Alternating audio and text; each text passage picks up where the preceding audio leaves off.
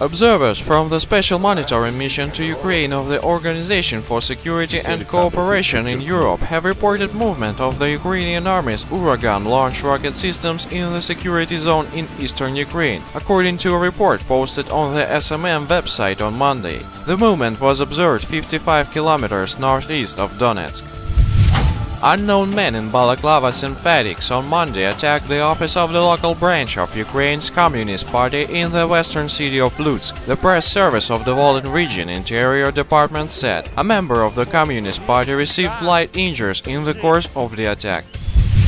Lithuania has decided to provide limited military aid to Ukraine following a meeting between Presidents Petro Poroshenko of Ukraine and Dalia Grybauskaite of Lithuania in Kiev. The move aims to bolster military cooperation between the two states. We have agreed on the supply of armaments for the Ukrainian armed forces, Poroshenko said after talks with Lithuanian President Dalia Grybauskaite on Monday. Poroshenko's peace plan for Ukraine looks that way.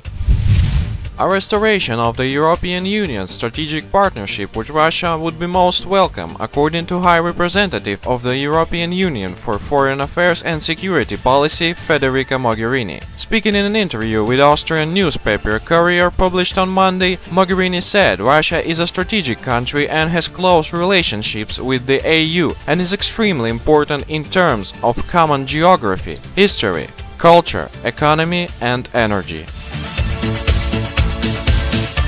Thanks for watching. Subscribe to our YouTube channel to receive up-to-date news on situation in Ukraine.